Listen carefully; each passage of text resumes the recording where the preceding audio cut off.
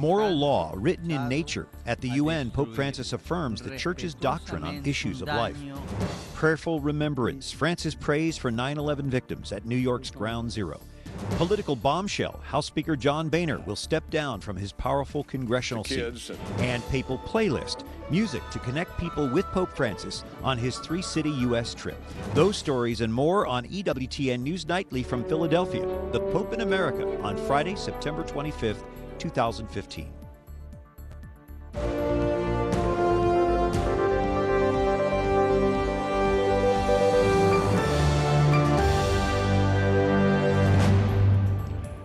Good evening and thank you for joining us. I'm Wyatt Goolsby in for Brian Patrick here in our DC studios. Brian is at the World Meeting of Families in Philadelphia. We'll check back with him in a few minutes. But tonight we continue our team coverage of the Pope in America. In America's largest city, Pope Francis offers comfort to families of the 9 11 victims, warning to world leaders at the UN, and encouragement to children at a Catholic school in East Harlem. Catherine Szeltner begins our team coverage from the United Nations. Catherine? Brian, Pope Francis became the fourth pope to address the UN. He follows Pope Paul VI, John Paul II, and Benedict XVI.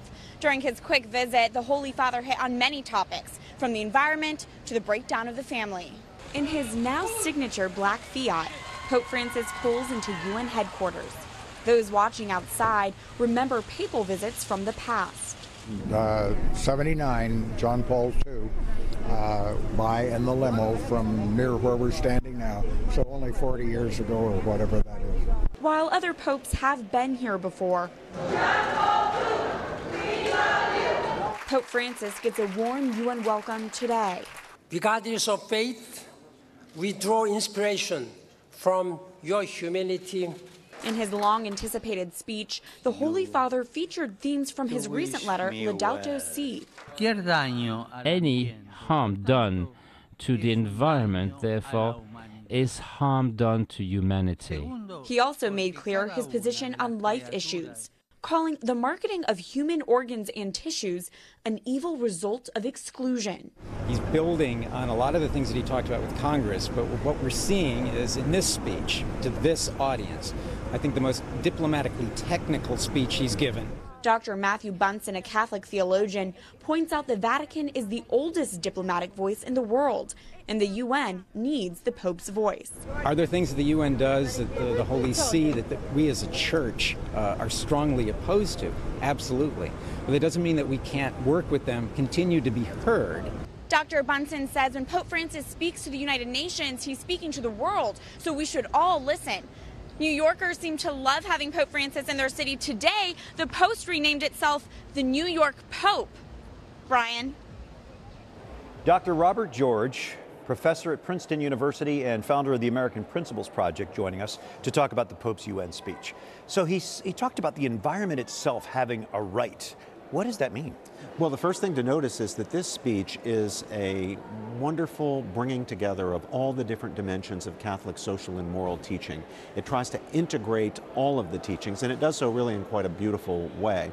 Now, what about this idea of the environment itself having rights? Well, the Pope makes very clear as he develops that notion that the environment has rights insofar as and because people are part of the environment. Indeed. The part we are not somehow apart from the environment, we're integrated into the environment. And because the environment serves the needs of human persons, the environment has to be treated as having a kind of personal quality. But it's for the sake of persons that we regard the environment as important and needing to be protected. Isn't he setting a whole new direction for environmentalism here? Oh, he is. It's got to be a humanistic, a personalistic mm-hmm. environmentalism, not one that can treat the environment as if it's a deity.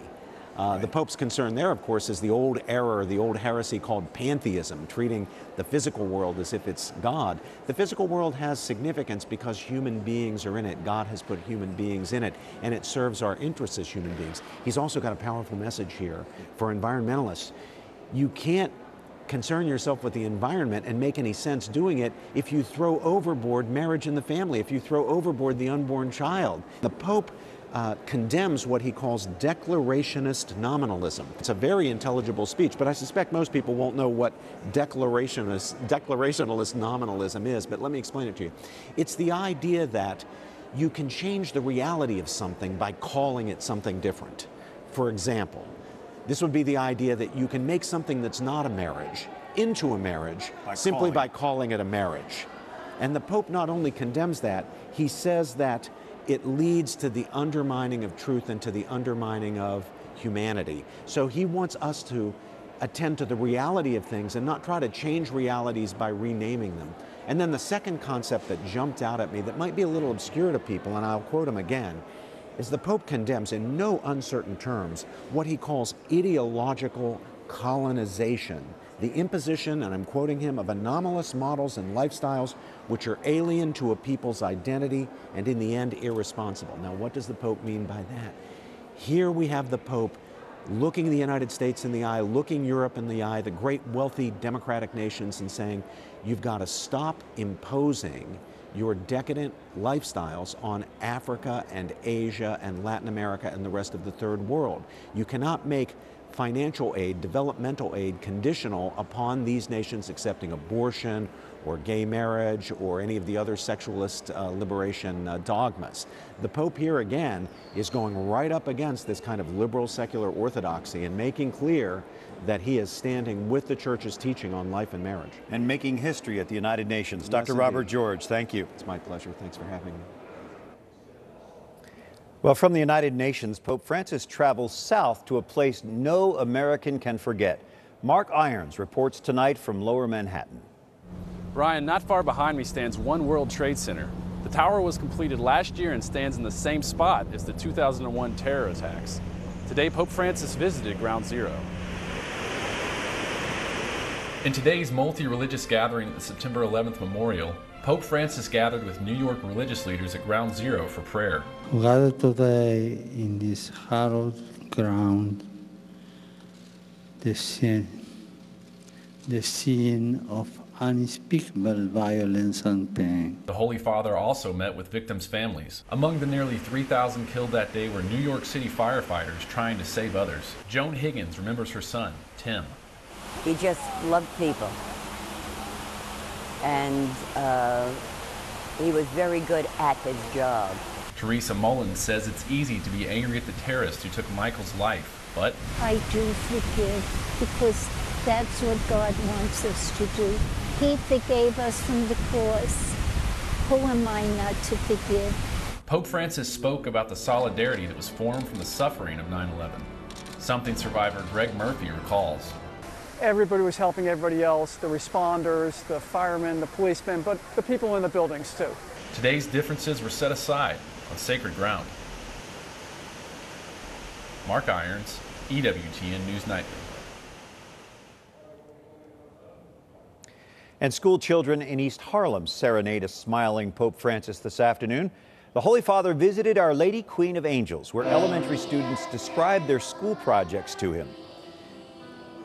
He was given a tech lesson on using a touch screen, but he didn't quite get the hang of it.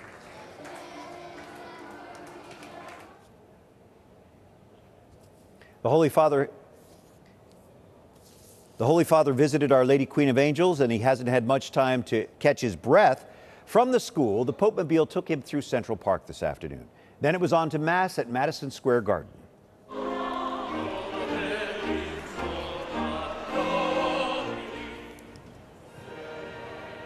Before Mass, Francis circled the arena to enthusiastic cheers. He waved smiles and accepted flowers and other gifts. The Holy Father spoke fondly of New York City, but he also warned that in such a large city, the poor and the marginalized are often overlooked. He referenced a reading from the book of the prophet Isaiah. alegrías y esperanzas, con sus desilusiones y amarguras, ese pueblo ha visto una gran luz.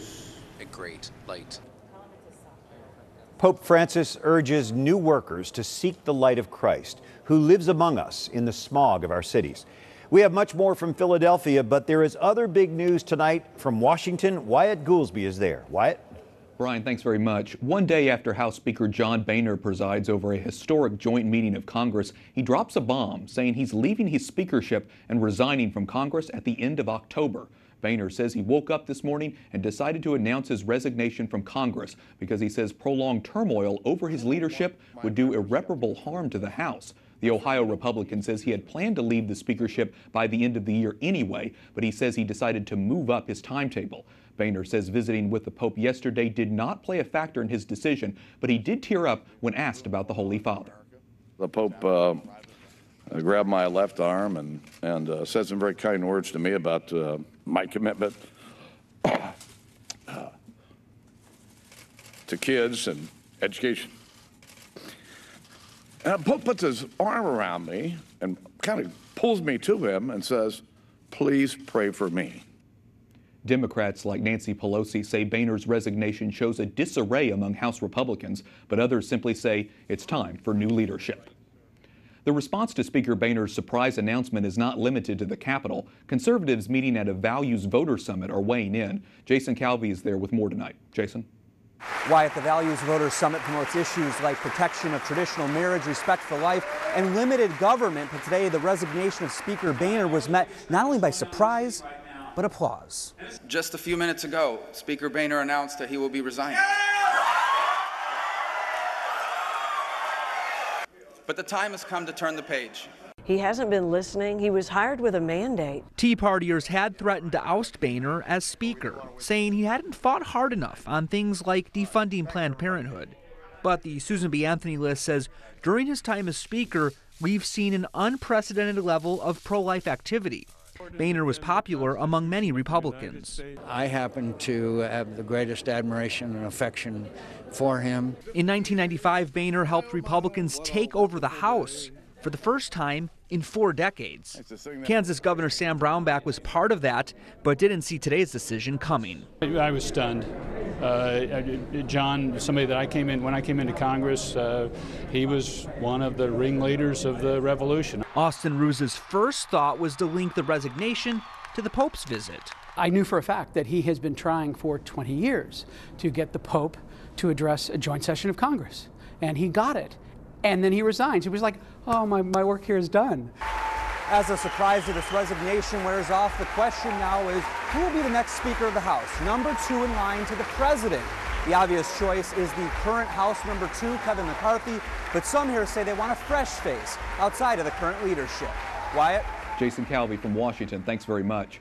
As Jason mentioned, Boehner's announcement comes amid a fierce battle among conservatives over funding for Planned Parenthood. Some demand any legislation to keep the government running past Wednesday not include funding for the abortion provider. GOP leaders in the House are discussing how to defund without a government shutdown. They're likely looking at a filibuster proof budget bill to send legislation defunding Planned Parenthood to Obama's desk for the first time. This would avoid attaching the bill to a stopgap measure that would fund the government through early December. President Obama says he and his Chinese counterpart have reached a deal aimed at combating cyber theft. It's one of many topics Obama and Chinese President Xi Jinping spoke about at the White House. In addition, China says there will be commit $3.1 billion to help developing countries reduce carbon emissions, one of a series of measures taken with the U.S. to combat climate change. The two presidents made the announcements after a formal welcoming ceremony. They've also pledged to find ways to avoid military issues in the Pacific. Violent crimes in Mexico is unfortunately a mundane occurrence. That's especially in the case of Tamaulipas, where violent clashes occur frequently between rival gangs. And while the overall murder rate has been falling in recent years, many families continue to lose loved ones to violence. That now includes the father and brother of one of Mexico's best known directors, who have been guests right here on EWTN News Nightly. A father son moment shared on Instagram, mezcal in their cups, and kind words on their minds. Alejandro Gomez Monteverde calling his father his best friend, his mentor, and the wisest man he knows. That was nine months ago. Now the sweet snapshot taking on a somber meaning. This weekend, the bodies of his kidnapped father and brother were found in Pueblo Viejo, Mexico, a tiny coastal town on the border between Tamaulipas and Veracruz states. The pair had suffered apparent head trauma and had been dead for several days. The Veracruz Attorney General says they were discovered Saturday night, more than two weeks after being abducted while leaving their home in Tamaulipas. The deaths are under investigation, and CNN affiliate Televisa reports the family paid a ransom. Police have also found a car they believe is connected to kidnappers. It has Tamaulipas plates and is being tested for evidence. The region, which borders the United States, is among the most violent in Mexico, thanks to ongoing disputes between rival gangs over lucrative drug trafficking routes. Though it's not yet clear if gangs or cartels are involved. Monteverde is married to Ali Landry, an actress, model, and former Miss USA. He most recently directed the drama Little Boy, which stars Eduardo Verastegui. The actor shared his condolences on Twitter, requesting prayers for his friend, now reeling from his loss. And all of us from the EWTN family send our sincere condolences and many prayers to the Monteverde family. From Washington, D.C. to New York and finally Philadelphia, music continues to be at the center of the Pope's U.S. trip. We talked with a musical duo performing for the Holy Father and the homeless this week.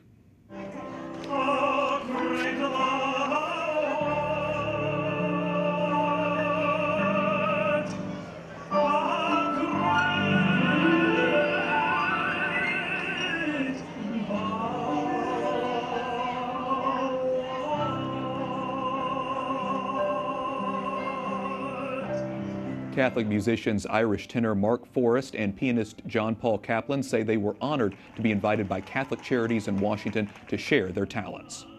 As I think all of us are called to a higher call in life, and uh, I think music can take us spiritually to a higher call. That is our mission to, to live our faith and to express uh, the gifts that we've been given. Kaplan recently released his instrumental album Merciful and Gracious for the upcoming Holy Year of Mercy. We go back now to Brian Patrick in Philadelphia for our coverage of the Pope's visit at the World Meeting of Families. Brian? Wyatt, this city is ready for Pope Francis. His visit here will have a lasting impact.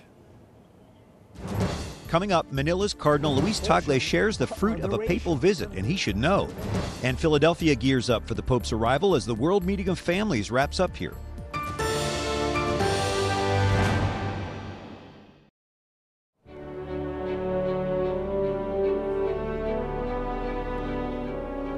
EWTN News Nightly's team coverage of the Pope in America continues from Philadelphia tonight. I'm Brian Patrick. The largest worldwide Catholic conference in history draws to a close right here. The World Meeting of Families is the very reason Pope Francis actually came to the United States. As Suzanne LaFranchi reports, he arrives here in the morning. Brian, many of those who attended the World Meeting of Families say that the conference better prepared them to hear from the Holy Father. The pilgrims are excited because the Pope will be here in just hours. They say they don't even mind the increase in security. As of this morning, visitors now have to go through magnetometers, part of the massive security effort. I think it's appropriate. We've got to keep the Holy Father safe. Despite the challenges, folks like the James family have a renewed sense of belonging to one global family. We were able to um, see that we see the same problems, but we also receive the same spirit, and we all can overcome it together, and we're all communion, one family. Bestselling author and pastor Rick Warren's parting message to families live and embrace the gospel daily. Joy filled families are based on the love of God. Bishop Robert Barron believes the conference's message on the family was clear. The family is what bears to the wider society the deeper purpose of God. So it's a call to mission Pope Francis will celebrate Mass tomorrow at the local basilica. In the afternoon, he will speak at Independence Mall. And on Sunday, he wraps up his U.S. tour with an enormous outdoor Mass. More than a million people are expected. Brian? Suzanne LaFranchi, thank you. Cardinal Luis Tagle, the Archbishop of Manila, joining us at the World Meeting of Families. Your Eminence, the Holy Father was in the Philippines just about nine months ago. Yes. What kind of fruit have you seen in the Philippines from that papal visit? First of all, the memory of that visit has been lingering. When people remember, they're also brought back to the speeches, the homilies of the Holy Father. Fortunately, uh, the visit of the Holy Father came during the year of the poor. So the message of mercy and compassion, especially towards the poor, is now bringing or bearing a lot of fruit in terms of action. Well, you can hear the excitement here at the World yes. Meeting of Families. Do you think that that fruit will also be reaped here in Philadelphia and throughout the U.S. from this papal visit? I think so. First of all, we always trust in the power of the Holy Spirit, the love of God that binds family together. And I think one fruit is uh, already being seen right now. There is a joy, a certain type of joy in proclaiming to the world what the Catholic Church believes in regarding the family. And when you have something like this, it's not just the message about the nuclear family, but also about the church as a family. and a universal family bound together by the Word of God, the presence of God in the sacraments, and the service of love, and uh, allow them to lead them to action. Yes. So it looks like you brought members of your family from the Philippines. They're, they're, they're surrounding us. Uh, the Pope has put a great emphasis on Asia. Are we seeing the church grow as a result? Numerically, there has been, has been some growth, but uh, when you look at the proportion uh, the ratio between the Christian population and the general population of Asia, we remain a tiny minority, I think 3%. When I talked with the Holy Father about this pastoral interest in Asia, he says there is a future for the church in Asia. He saw in his two visits the youthfulness of the church and the peoples of Asia, the enthusiasm, the great desire to uh, witness to Christ. Yes. You really exemplify that, and we thank you so much for spending some time with us. Thank Cardinal Tagle of Manila, we appreciate you. Thank you very much. Up next, what looked like a spontaneous moment turns out to be a well planned strategy to get the Pope's attention. And a Notre Dame professor creates a musical playlist to accompany the Pope's U.S. visit.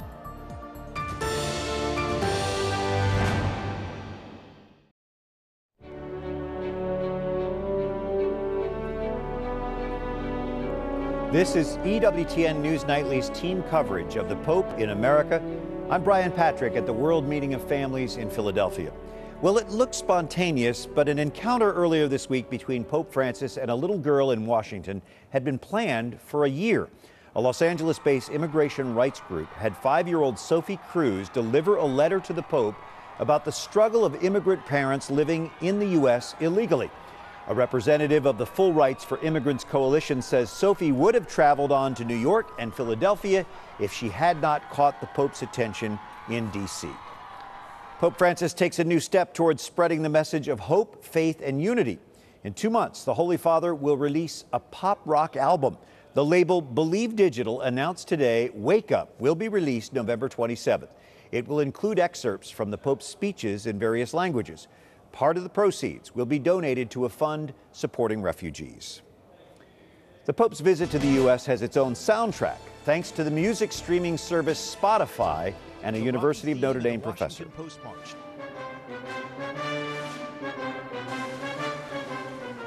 Just two of the songs connecting with the cities Francis is visiting.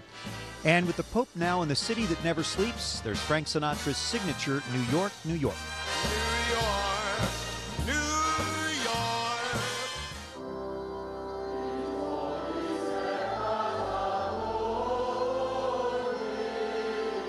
Hymns and psalms sung at the Pope's liturgies are included.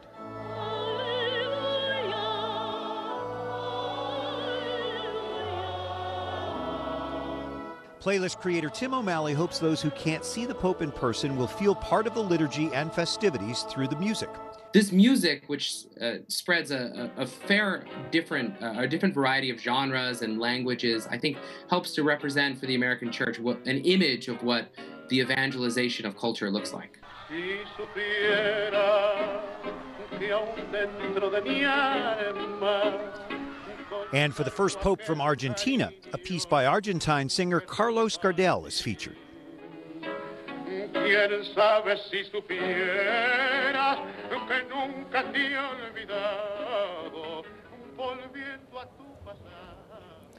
On that note, for our team here in Philadelphia and in Washington, I'm Brian Patrick. We will be here all weekend and we'll wrap up the visit of Pope Francis to the United States Monday night from the Cathedral Basilica of Saints Peter and Paul right here in the city of brotherly love. We leave you tonight with highlights of the Pope's Day in New York City. Good night and God bless you.